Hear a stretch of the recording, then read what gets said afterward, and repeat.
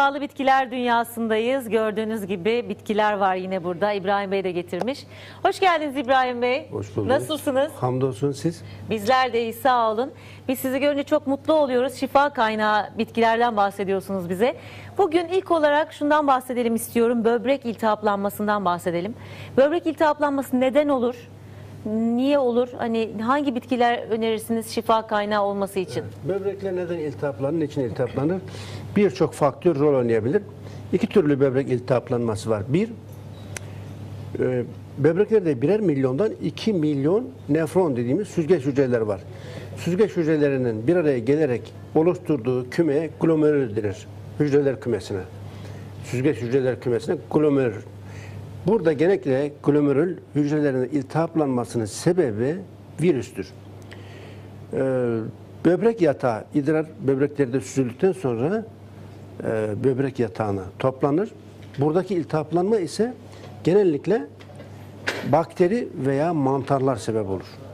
Yani birçok şey rol oynayabilir fakat asıl problem burada böbreğin kronik böbrek böbrek iltihaplanmasının basit bir nefritin kronik böbrek yetmezliğine dönüşmesinin sebebi iki sebepten kaynaklanır. Bir, E. coli bakterisi. iki mantarlar. Bağırsaklardaki zararsız olan E. coli bakterisi normal olarak bağırsaklarda zararsız bir bakteridir. İdrar yolları enfeksiyonuna sebep olabilir. Eğer böbreklere yerleşirse bu bakteri veya mesaneye yerleşirse aynı kuduz köpek gibi olur. Hmm, Normal olarak bağırsaklarda zararsız olan bu bakteri yani evde köpeğiniz var zarar verir mi? Vermez.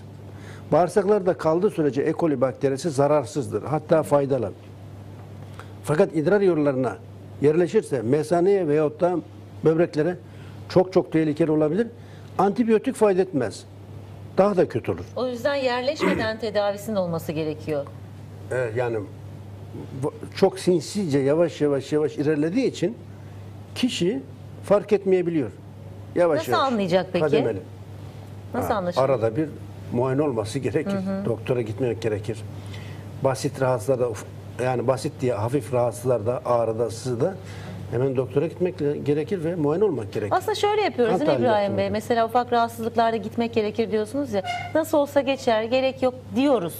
Yapmamak lazım aslında. Tabii, Vücut ihmal. bazı sinyalleri veriyor.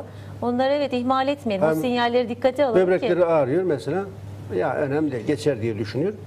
İşte geçer diye düşünürse o sinsizce devam edebiliyor. Fakat esas tehlike böbrek yetmezliğini tetikleyen en tehlikeli şey ise yüzde 98 böbrek yetmezliğini tetikleyen şey kimyasal ilaçlar. Eskiden böbrek yetmezliği diye bir problem mi vardı? Hemen hemen yoktu. Çok nadirdi. Günümüzde 50 yıl öncesine göre böbrek yetmezliği çok çok yaygın. Yüz binlerce insan böbrek yetmezliğinden muzdarip. Neden, niçin? Çünkü günümüzde birçok kişi tansiyon hapı, kolesterol hapı, diyabet hapı, depresyon hapı gibi çeşit çeşit kimyasal ilaç kullanıyorlar. Bu kullanılan ilaçlar nereye gidiyor? Böbreklere geliyor. Böbrek bunu süzmek zorunda. Böbrekleri süzerken ne oluyor? Toksik madde bu kimyasal ilaçlar. Böbrekleri deforme ediyor, şeklini bozuyor ve böbrekler büzülüyor, küçülüyor, fonksiyonunu kaybediyor. Bir kişi, mesela bize yüzlerce, binlerce insan geldi. Eğer ki kimyasal ilaçlardan dolayı böbrekleri küçülmemişse, iltihap, taş, kum, kist vesaireden dolayı böbreklerinde problem ortaya çıkmışsa hiç problem değil. Tedavisi kolay.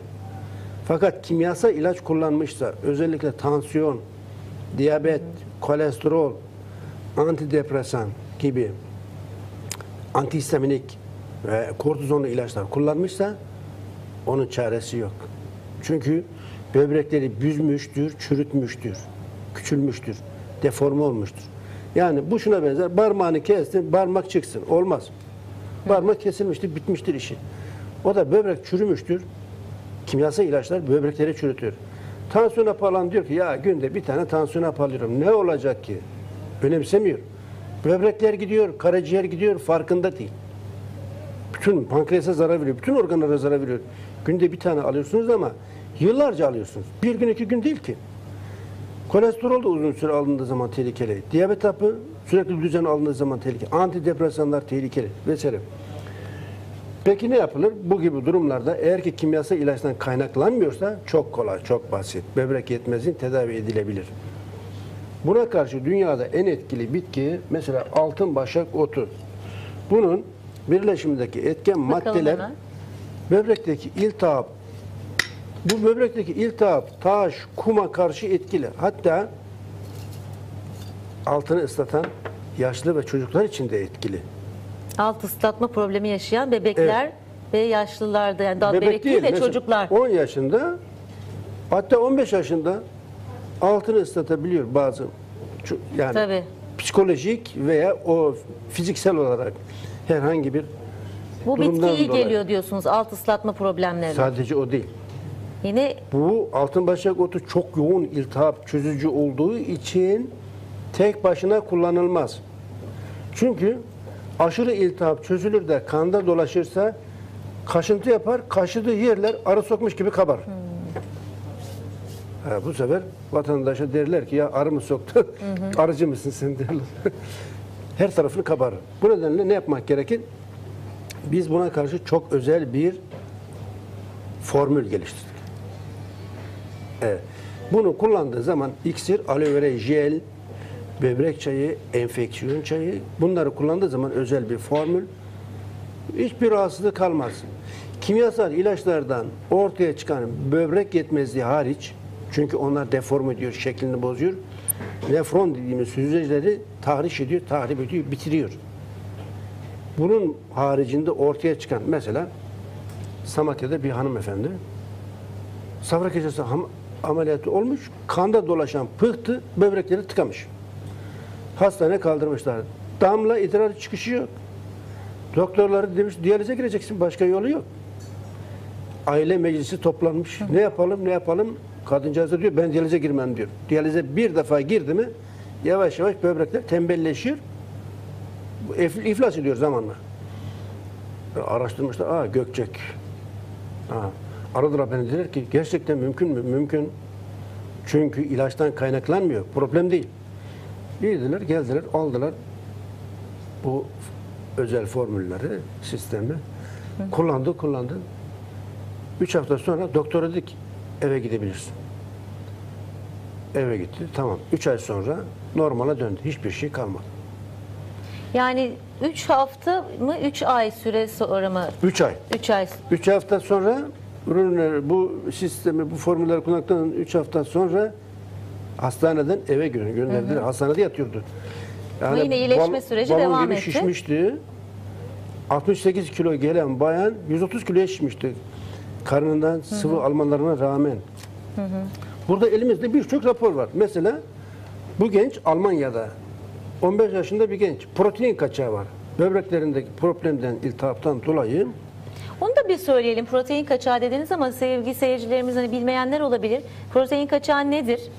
Hücreler e, yani normal olarak böbreklerin müsaade böbrekler kanı süzerken, temizlerken, arıtırken dışarı geçmemesi gereken filtredir böbrek. Filtre gibi düşünelim. Dışarı atılmaması gereken proteinleri dışarı atıyor. Nefronlar genişliyor. Neden dolayı?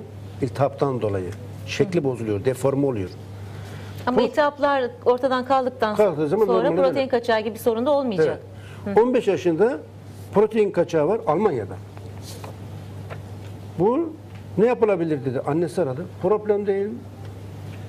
E, doktorları demiş ki şu şu şu yapılacak ilaçlar, ağır ilaçlar Almanya'da. Ve 6 hafta sonra annesi bana bir mektup yazdı. Allah sizden razı olsun. Uzun bir hikaye yazdı. Mektubu var. E, Türkçe bir mektup yazdı. Oğlum sayenizde iyi oldu. Sizden müteşekkiriz vesaire diye. Bu da başka bir beyefendi.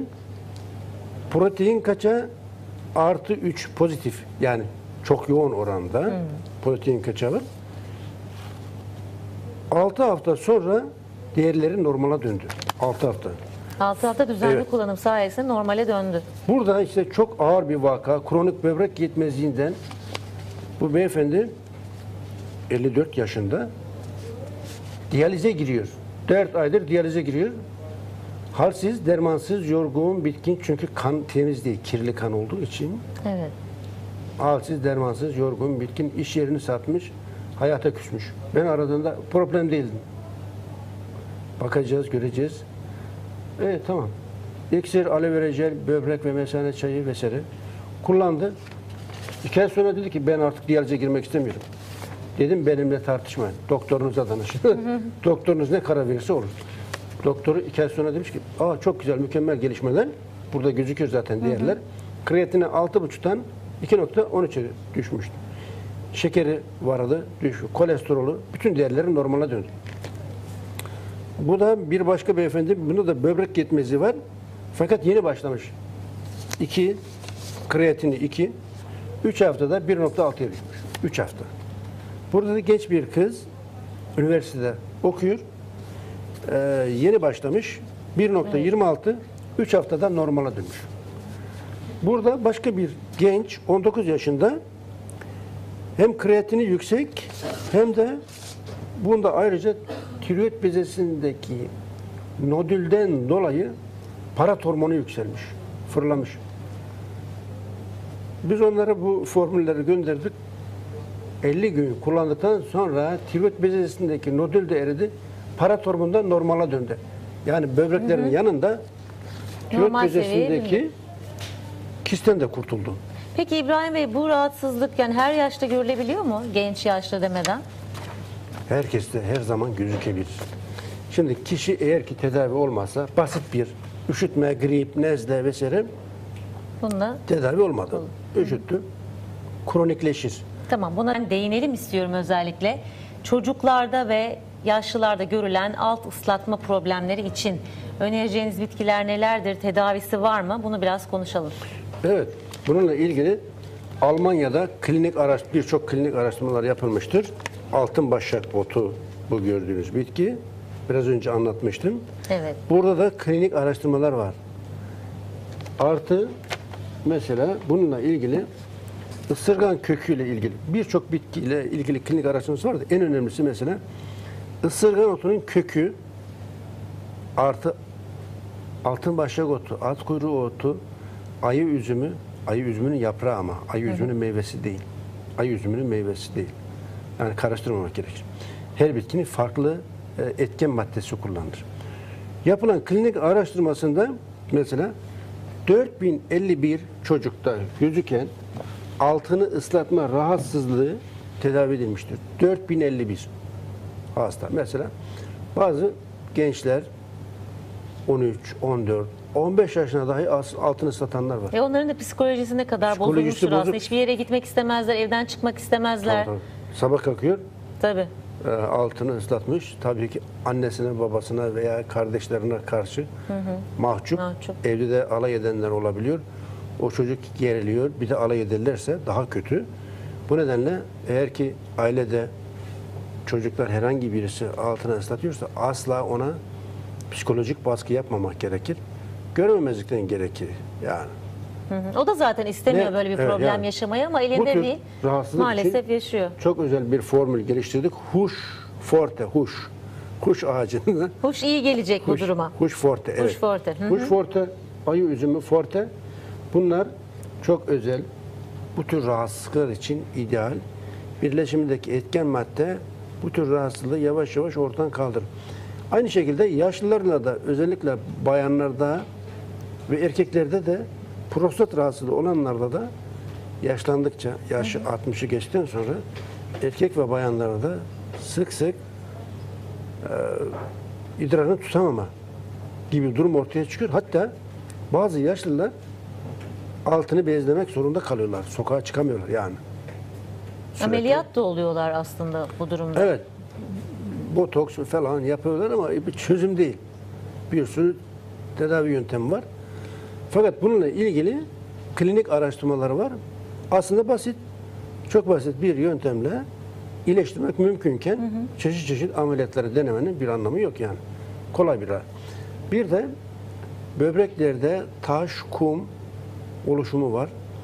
Vücut mesela bazı insanların vücudunda oksalik asit nötrleştiremiyor. Bu da taşa dönüşüyor. Bu gibi rahatsızlar için avokado yaprağı, kayış kıran kökü, ısırgan otu, at kuyruğu, altınbaşak otu gibi yine çok özel bir formülümüz var. Vatandaş bunu kullandığı zaman hiçbir şey kalmaz. Antalya'dan bir beyefendi böbreklerinde 6 ayda bir ceviz kadar taş oluşur. Ben aradı diyor ki 6 ayda bir ameliyat oluyorum. Tekrar oldu. Tekrar ameliyat olacağım. E, her ameliyatta da dokuya zarar veriliyor. Basit bir şey değil. Dedi ki hocam bunun çaresi var mı? Var. Problem değil. Hiç dedim problem yapma. Nedir? İksir, aloe vera jel, huş forte, ay üzümü forte bu özel formülleri kullanın bir şeyiniz kalmaz. Kullandı. iki ay sonra hiçbir problemi kalmadı. Yani bazılarında böyle süreklilik arz ediyor. Sürekli taş oluşuyor, kum oluşuyor vesaire. Kullandığı zaman hiçbir şey kalmaz. Aslında böyle problemlerin bir de hani insanda yarattığı psikolojik sorunlar da oluyor çünkü. Takılıyorlar ben işte neden böyle hastayım bu hastalığım geçecek mi tedavi edilecek mi? Sonra size ulaşıyorlar siz diyorsunuz ki problem değil gel hallederiz diyorsunuz. Bir kere telefonda rahatlatıyorsunuz işlerini. Tabii tabii. O problem da değil. çok önemli yani Problem o huyunuzu da çok seviyorum aslında. Evet. Biz Ben- hallederiz diyorsunuz. Mesela dün bir hanımefendi geldi. Daha önce bizden ürünü alıp yani bu formülleri alıp kullanıyordu. Bunda ağrılı, sancılı, sızılı idrar. İdrar çıktığı zaman ağrı yapıyor, sancısı var. Rahatsız oluyor. Buna intersistiyal sistit denir. Yani normal sistit mesane iltihaplanmasından farklıdır. Normal bayanlarda %98 oranında sistit dediğimiz mesane iltihaplanması. Bu olayı neden olur olur. peki İbrahim Bey? Üşütmekten mi kaynaklanır? Üşütmekten olur fakat genellikle üşütmeyi yani bu mesane mukozasında bakteriler var. Faydalı bakteri. Bunun yapısı bozuluyor. Neden? Bazı insanlar modern insanlar daha çok taharetlenmiyor. Hijyene dikkat etmiyor. Tuvalet kağıdıyla sildi mi bitti zannediyor. Yani hijyen çok önemli Hijyen. diyoruz. Mesela Avrupa'da Fransızlar Müslümanlara özeniyor. Müslümanlar gibi taharetlenmek için özel şeyler yapmışlar. Onlar da bize özeniyor. Biz de Avrupalı'ya özeniyoruz. Yani bizim kültürümüzde biraz yabancılaşan insanlarda daha çok gözüküyor. Yani kültürümüzden yabancılaşan insanlarda sistit daha çok çünkü taharetlenmek istemiyor. O yüzden söyleyelim hijyen çok önemli bu rahatsızlığa yakalanmamak çok önemli çünkü defacetteki defacetteki bakteri, virüs ve mantarlar mesaneye yerleşir. Mesaneye yerleşen mantarlar toksik madde üretiyor. Etan, metan, bütan gibi gazlar, etil alkol, metil alkol, bütil alkol gibi zehirli alkoller bu mesane mukozasını yakıyor. Mesane mukozası yanarsa ne olur? Sinir uçları böyle açıkta kalır. Böbreklerden birkaç damla idrar geldiğinde Mesela doluymuş gibi beyne sürekli sinyal gidiyor. Önce ağrıyla sızıyla başlıyor. Eğer tedavi olmazsa artık sürekli lavaboya git gel git gel. Bir gecede 30 defa lavaboya giden bir bayan bize gelmişti. Hiç problem değil dedik. Gece uykusu falan da kalmamıştır zaten o kişinin. Hiç uyuyamıyor. Şimdi mesela ayı üzümü dünyada sistite karşı en etkili bitki. Almanlar Almanya'da 75 doktor, urolog kendi hastalarına sistit yani akut sistit veya kronik sistit veya da intersistiyal sistit veya aktif mesane dediğimiz mesane hastalaşmasına karşı dünyada en etkili bitkidir ayı üzümü. Fakat tabii hiçbir zaman tek biz bir ürün, bir, bir formül bahsetmiyoruz. Bir bitki yeterli olmayabilir. Çünkü bir bitki, ayı üzümü yüzde yirmi, yüzde yirmi beş etkiliyse ısırgan kökü, burada ısırgan kökü daha etkili. Bazen ısırgan otu. Ve oranları da etkili yani hem diğer bitkilerle karışımı ekstraktı diyorsunuz onu da öğrendik Ekstrakt, artık. özel. Ve hani oranları da çok önemli. Oranlar, tabii. Oluşum aşaması da çok önemli. altın başak, ortozifon mesela Endonezya'da yetişir. Naneye benzer bir bitki. İdrar yolları enfeksiyonu için çok çok önemli. Ortozifon. Türkiye'de huş ağacı yetişir. Huş ağacının yaprağı. Bunun içerisinde mesela huş ağacının yaprağının ekstraktı var. Ayı üzümüyle ilgili 186 bin hasta tedavi edilmiştir. Almanya'da 75 doktor, urolog yani bu işin uzmanı idrar yolları enfeksiyonuyla ilgili. Hastalarına sadece ve sadece akut sistitte, kronik sistitte, intersiyal sistitte, aktif mesane rahatsızlığında ağrılı sancılı idrar yapma gibi rahatsızlarda sadece ve sadece kimi urolog 10 yıl, kimisi 30 yıl sadece hastalarına bunun damlasını, drajesini yazmışlar. Hastaları iyileştirmişler. 186 bin hasta. Dünyada aloe vera'dan sonra yapılan en büyük araştırma, klinik araştırmasıdır, çalışmadır. En büyük. Bu tür rahatsızlığı olanlar hiç panik olmalarına gerek yok. Ayı üzümü forte çok çok özel bir formül. Ayı üzümü ekstraktı, altın başak otu ekstraktı, at kuyruğu otu ekstraktı, ayrık kökü ekstraktı, kara hindiba ekstraktı, huş yaprağı ekstraktı, ısırgan kökü ekstraktı gibi ekstraktlar içerir. Ekstrakt neden ekstrakt? Çünkü mesela altın başak otunun birleşimindeki etken madde nedir? Saponinler, flavonitler vesaire. Yüzde kaç? Yüzde üç. Biz sadece bu etken maddeyi kullanıyoruz. Öğütüp de bunun damlasını, derecesini yaparsanız etkisi olmaz. Veya çayını. Evet. Yani çay da etkili de Çok etkili değil yani. ağır herhalde. vakalarda etkili değil yani. Ağır vakalarda ki bu interstitial sisti çok çok ağır bir vaka. Ve kaç yaşında, nerede, ne zaman, kimin buna yakalanacağı da tabii ki hiç belli olmuyor. Mesela 12 yaşında bir genç kız yakalanmıştı. Böyle bir rahatsızlığa. Bana getirdiklerinde şaşırdım bu yaşta. Olacak gibi değil ama oluyor. Problem değil. 3 ay kullanacaksın veya 4 ay dedim. 6 hafta kullandıktan sonra dedi ki hocam ben kullanmıyorum. Neden? Hiçbir şeyim kalmadı. Olsun dedim yani ileride nüksetmemesi için. Bazı insanlar da çok sabırsız maşallah. İyileşiyor bir ayda, bir buçuk ayda. Ha, ben artık kullanmıyorum. Neden? İyileştim. Kökten mukozanın üzerinde, mesane mukozasının üzerinde hiçbir bakteri, mantar, virüs kalmayana kadar devam etmek gerekir. Diyelim ki iki ayda iyileştiniz, bir ay kadar en az devam etmek gerekir. Üç ayda iyileştiyseniz dört ay devam etmek gerekir. Yani bir ay fazladan bu ürün, bu formülleri kullanmak gerekir. Aksi takdirde iyileşir iyileşmez bıraktınız, içerideki mikroplar az da kalmışsa tekrar harekete geçebilir. 3 ay, 5 ay O yüzden sonra. bunları hem düzenli kullanmak gerekiyor hem de birazcık sabretmek gerekiyor ki çünkü tedavi bir süreç ister.